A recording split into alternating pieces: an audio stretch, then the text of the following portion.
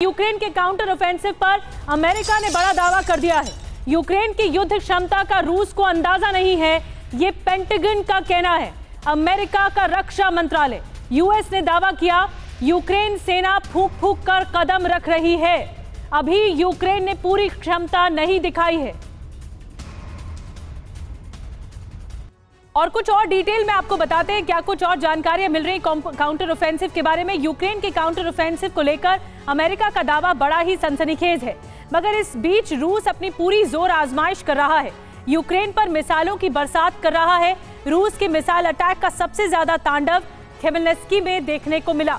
इसके अलावा राजधानी कीव टर्नोपिल जाइटोमीर चनविसी और विनित्सिया में रूसी डिफेंस के आसमानी जंग, जंगबाजों ने जमकर बमबारी की है। आसमान से अग्नि प्रहार किया जा रहा है। इसके अलावा पूर्वी यूक्रेन का जो इलाका है, वो भी लगातार दहल रहा है।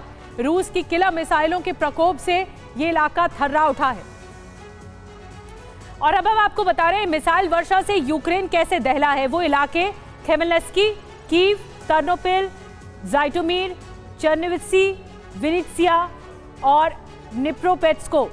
ये वो इलाके हैं जहाँ पर मिसाइलों से अटैक हो रहा है और यूक्रेन दहल गया तो ये आर पार की जंग है दूसरे काउंटर ऑफेंसिव में रूस और यूक्रेन के बीच, जो इस वक्त मैदान जंग पर चल रही है।